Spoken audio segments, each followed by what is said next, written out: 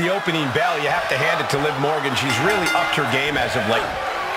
Jumping complete shot. Shoulders down. This could be it.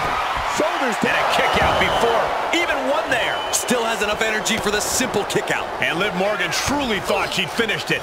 She can't let this get to her, though. She has to keep going.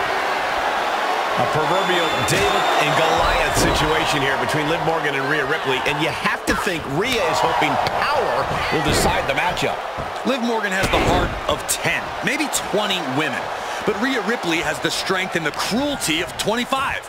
If she's able to completely throw away any regard for her old partner, and I think she can, this David and Goliath story will have an alternate ending. Those one counts getting harder and harder to kick out of.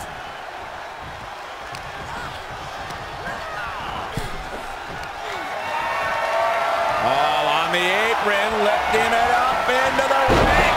Bam! Suplex. Clearly an attack that very few superstars can perform with such ease. Watch her set up in the corner. Able to evade. She's dazed on the top turnbuckle.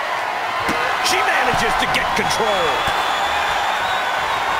Oh, Liv got caught with a reversal. Rhea Ripley showing off her outrageous power. Electric turns it into a face buster. Ripley attacking with purpose, looking to bulldoze the competition.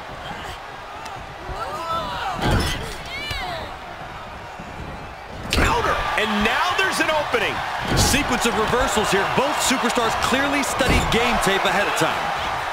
Quick exchange of counters there. Looking vulnerable on that top. Uh, Rhea Ripley sending her opponent up fire. This is going to be nasty. Oh, Ripley's going to up the ante right here for us all to see. An avalanche riptide. That's got to be it. Two. An emphatic victory. Here is your winner! Hurry! And Rhea Ripley's showing no remorse about